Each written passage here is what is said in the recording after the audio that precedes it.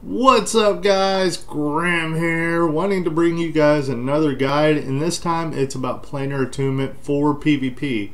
This is probably not going to be the best advice if you're wanting to use it for PvE, so this is PvP oriented and just use it for that. Alright, this video idea was presented to me by Evgeny Denisov, I believe that's how you say his name pretty hard to pronounce, but hopefully I got it right. But let's jump right into it. No fiddling about. Let's go right into the planar attunement. Okay, now there's a couple different ways that you can do this, but I am going to tell you what my recommendation is. My recommendation is your line of priority, should I say, is the attunement of war. This is your main tree. This is your PvP tree that's going to help you out tremendously. But there is something else that you can do before you go into this tree very much. You can go to each one of these uh, other trees and put one point into the center one and then one point into increasing your planar charges.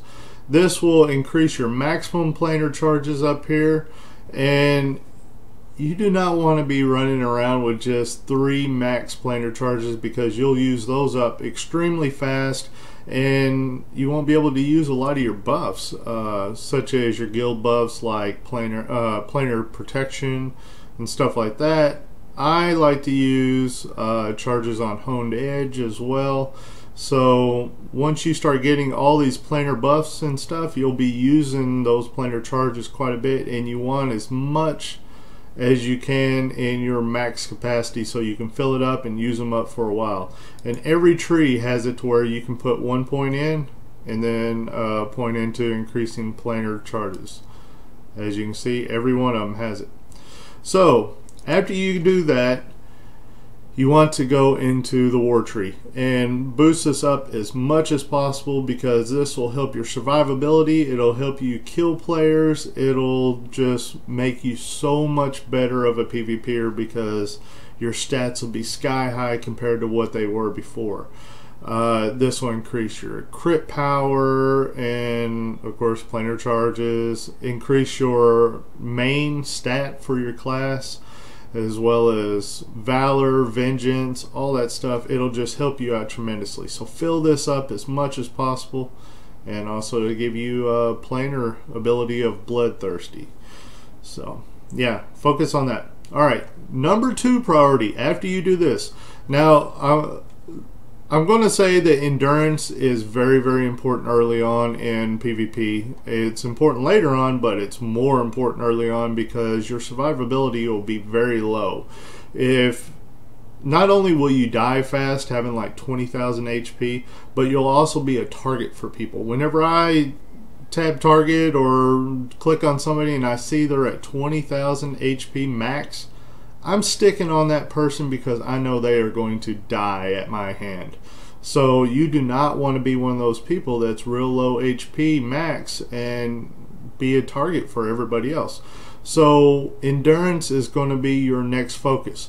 Now you might ask yourself why not go into endurance trees instead of the war tree?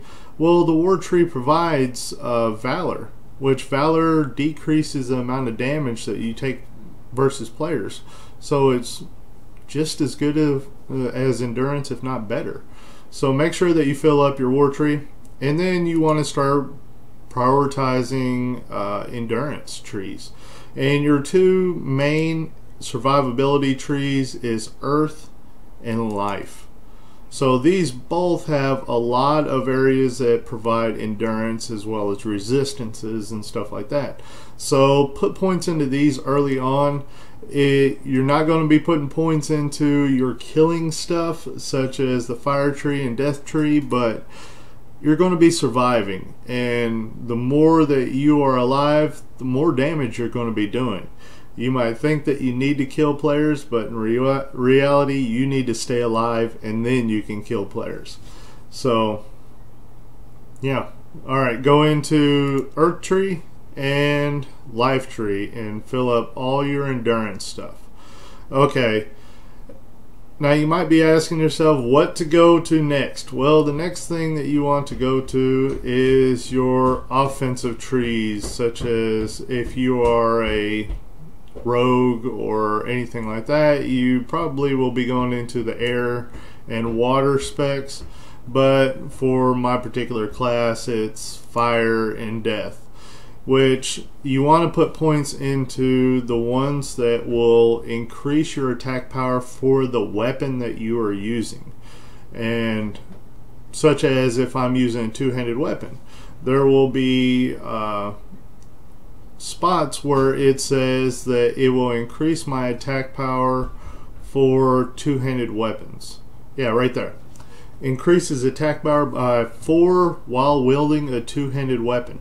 So if I'm using a two-handed weapon, this is where I'm wanting to put my points into is into these areas. If I'm using a one-handed weapon, of course you want to go into the ones that, such as this one, increases attack power by four while wielding a sword or dagger.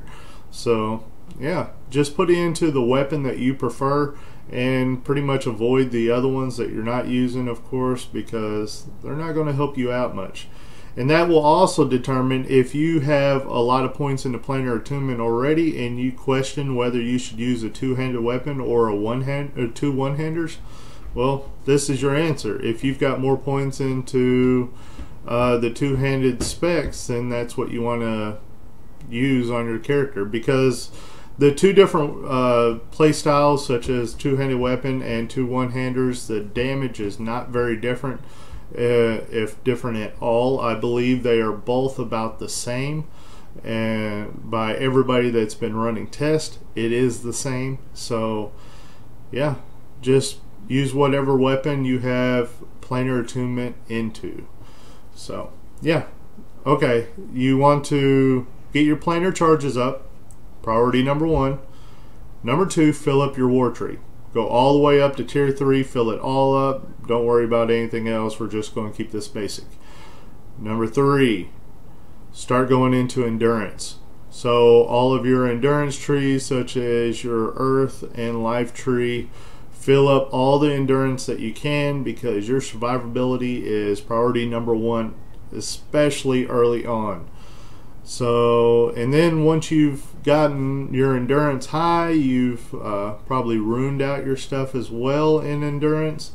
You want to start killing people a little bit better, and that's whenever you start focusing into your offensive trees. And for whatever class you are, it will be different trees, such as for warrior here, it will be fire and death. For rogue, it's probably going to be air and water.